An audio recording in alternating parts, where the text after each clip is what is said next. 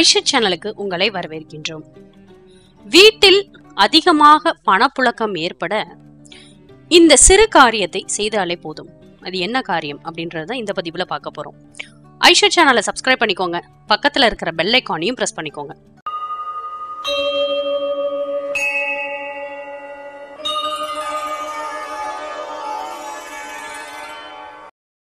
ஐஷத் channel அன்பர்களுக்கு அன்பான வணக்கங்கள். இன்னைக்கு இருக்கக்கூடிய காலகட்டங்களில் நம்மளுக்கு பலவிதமான பிரச்சனைகள் இருக்கு. அந்த பலவிதமான பிரச்சனைகள்ல முதன்மையாக இருக்கக்கூடியது பணப்பிரச்சனை. எல்லா வீடுகள்லயும் இருக்கக்கூடிய பொதுவான பிரச்சனை தான் இந்த பணப்பிரச்சனை.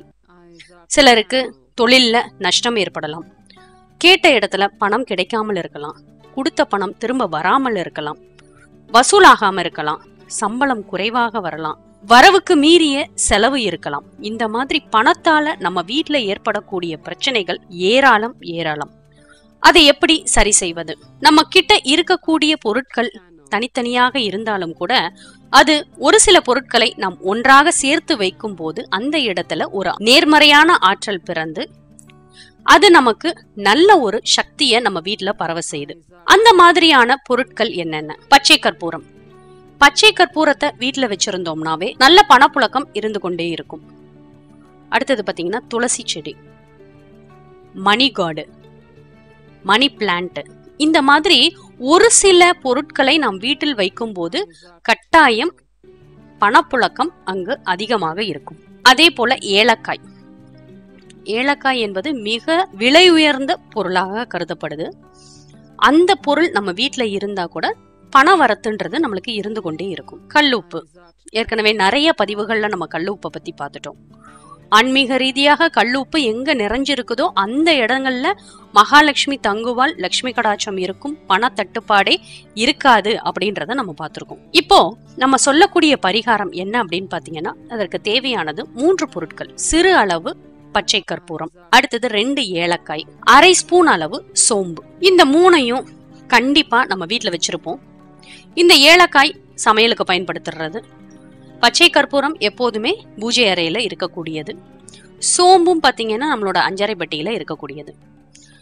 இரண்டு ஏலக்காய் ஒரு சிறு துண்டு பச்சை கற்பூரம் அரை ஸ்பூன் அளவு சோம்பு. இது மூணையும் ஒன்னா ஒரு துணியில மடிச்சோ அல்லது ஒரு சின்ன டப்பால போட்டோ முதல்ல பூஜை அறையில வைங்க. ஒரு நாள் ஃபுல்லா அந்த பூஜை அறையிலேயே இருக்கட்டும். மனதார உங்களுடைய கஷ்டங்களை சுவாமியிடம் பிரார்த்தனை செய்து நம்ம துணியில மடிச்சு வச்சிருக்கிறதையோ அல்லது டப்பால போட்டு வச்சிருக்கிறதையோ எடுத்து பீரோல வைங்க. இதுக்கப்புறமா நீங்க எதையுமே செய்யவே வேண்டாம். பீரோல அது ஒரு பக்கமா தனியா இருக்கட்டும். இதை மாத்தணும் வார வாரம் நீங்க மாத்தணும் அப்படின்ற எண்ணம் இருந்தா கூட நீங்க மாத்திக்கலாம். இல்ல மாதத்திற்கு ஒரு முறை இல்ல உங்களுக்கு எப்ப தோணுதோ அந்த மாதிரி மாத்திக்கலாம். அதை தொடவே வேண்டாம். நீங்க ஒரு மூலையில வச்சிருங்க. பீரோல ஒரு பக்கமா வச்சிருங்க. அது வைத்த பிறகு கண்டிப்பாக நம்ம வீட்டுல நல்ல ஒரு பணப்புழக்கம் ஏற்படும். செல்வம் கொளிக்கும் பணவரத்து இருந்து கொண்டே இருக்கும். பண தட்டுப்பாடு என்பதே இருக்காது.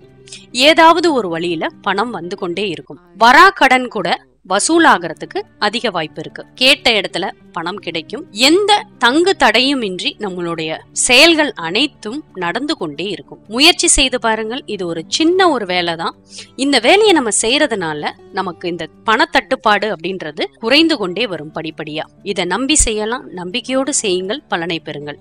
மேலும் இது போன்ற தகவல் அறிய ஐஷர் சேனலை சப்ஸ்கிரைப் பண்ணுங்க ஷேர் பண்ணுங்க. உங்களுடைய கருத்துக்களை எங்களுக்கு பதிவு பண்ணுங்க. நன்றி வணக்கம்.